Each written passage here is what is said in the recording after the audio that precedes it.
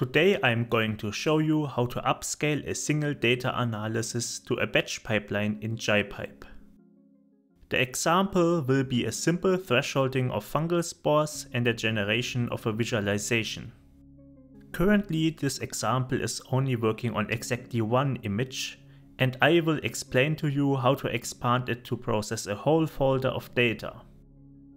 Let's first talk about how JIPipe's processing works.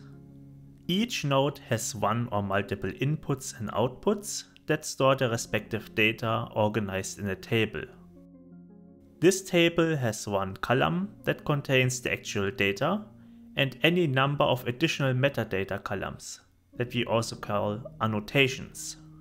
On running update cache or the run command, you will actually see the tables stored in the output.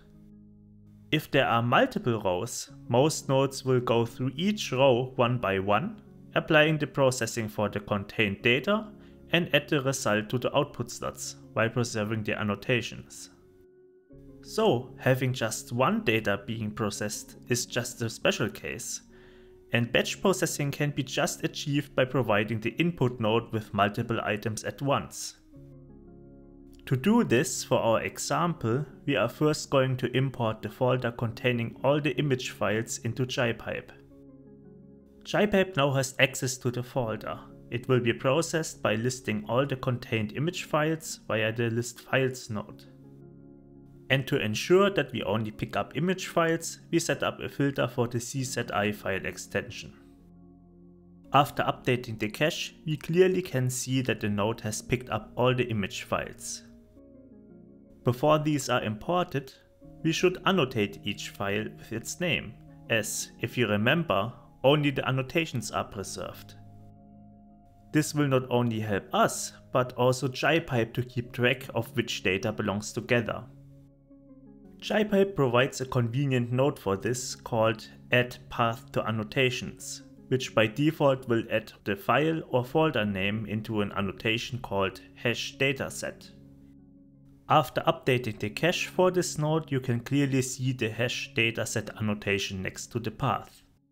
The node can of course be configured to create other annotation names, but I already want to tell you that the hash has a special meaning that will be explained later. Now let's replace the single input file with the annotated image file list. And this was everything needed to have a batch analysis. It's really that simple. If we now go to the bottom and update the cache for the final visualization, you can see that all the processing is now applied for all the images located in the folder. And if we scroll to the right side of the table, you can still see the hash dataset annotation that was added at the beginning of the analysis. So what happened here? Why did everything work without major changes to the pipeline? There are three factors involved here.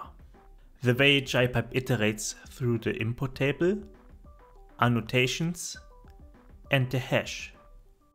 Most of the behavior can be explained by the already established way how JIPipe loops through the input table, as most of our processing steps have just a single input.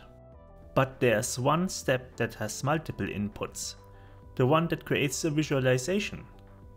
It consumes lists of ROI as well as background images. So what's the problem here? It has something to do with the iteration through multiple tables. We cannot just match up the first row of one table with the first row of another, as we can never be sure about the order. So we need to find a way to find which rows belong together regardless of their order. And you might have already noticed here that we already have one. The annotations. The annotations give you all the necessary information to distinguish one data from another. And if you remember, annotations are preserved in JIPipe. So JIPipe only needs to match up the annotations and it will completely automatically group the data to do the correct processing. And this is also the reason why we annotated the data at the beginning of the pipeline. So what about the hash? It is related to the three basic rules of how JIPipe matches annotations.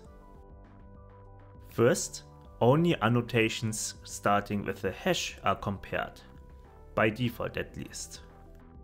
Second, all non-missing annotations have to match. And third, missing annotations are wildcards. Let's explain these rules on some examples. Over the course of the pipeline, your data will gather a multitude of annotations that are not important to group it together. For example, we here have an additional source annotation. Yet only the hash experiment is utilized by JIPipe to find which rows belong together. The second rule is very useful if your data has multiple annotations that describe it.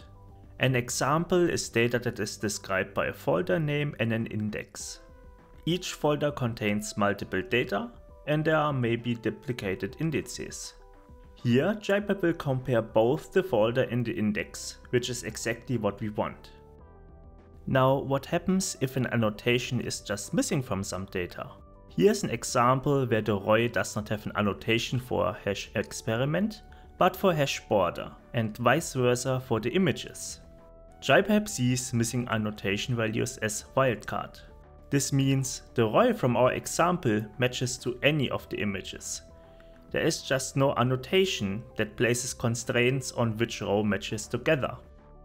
And those were the three rules on how annotations are matched in JIPipe. And to help you with setting up your analysis and fine-tuning this data matching, JIPipe provides a simple configuration tool that displays a preview of which rows are matched together. If a node utilizes a more complex data management, just select it and click the Data Batches tab in the right hand panel. It will display all the settings that control how the data is matched together at the top and the generated groups called data batches in the list below. There are also nodes that do not have multiple inputs but still group data together.